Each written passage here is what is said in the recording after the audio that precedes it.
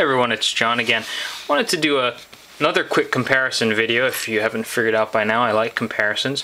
Uh, showing this saber with its Seoul P4 green against um, another saber which is running a Lux V green. So we can see sort of the difference. Also, I'm going to take away this display because I realized in the initial video that um, that mirror was really obstructing from the overall profile of the saber. Here you can see it a lot better with the idea of having this, this tapered back end. This tapered back end, uh, the narrower grip, and then again the flare out towards the front. So this is the saber. Let's go ahead and show it to you with uh, against a Luxeon V. The Seoul P4 green on this particular saber, King's Meat, is being run at uh, 1200 milliamps, 1.2 amps. The Luxeon V is being overdriven at 1000 milliamps or 1 amp. That's this saber. We'll go ahead and do a quick impromptu uh, brightness comparison test.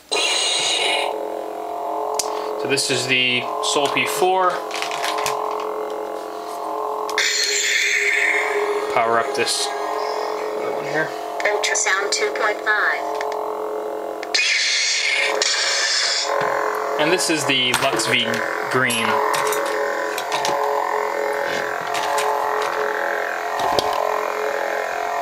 Maybe difficult to see in the video, but the shades of green are markedly different. The green is on the Lux V is much more of a deeper, richer green as seen in the movie uh, with Luke in Return of the Jedi. This particular saber um, with the Seoul P4 green is much more of a, a, I wouldn't call it a yellower green, but it is uh, much more fair. And so uh, gives you an idea of their actual difference. This I believe is a bin 2 or 3.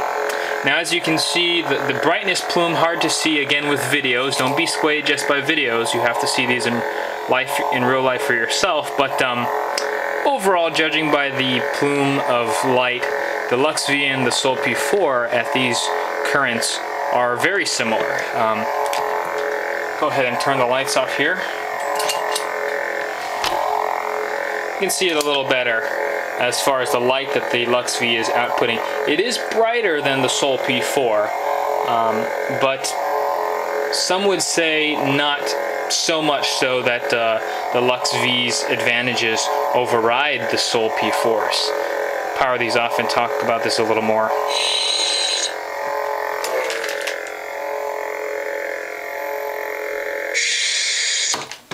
So, the main reason why I wanted to show you guys that, uh, for those of you who haven't seen it, and again I encourage everyone to try this out in person, uh, not trust just videos and pictures because uh, they're commonly overexposed. But the bottom line here is that uh, the Seoul P4 offers great brightness uh, compared to the Luxeon V, and consider that the Seoul P4 can be run off of as little as 3.7 volts. You can run it off of a single lithium ion cell if you really needed to. Um, by contrast, the Luxeon V requires, it, it prefers closer to 8.4 volts.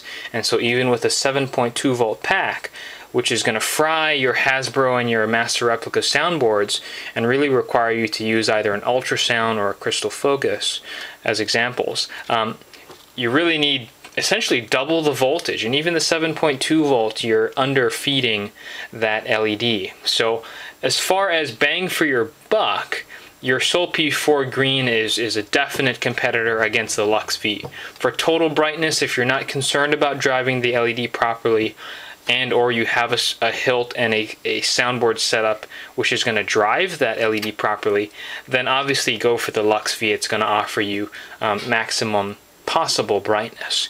But again, advantages and disadvantages to both.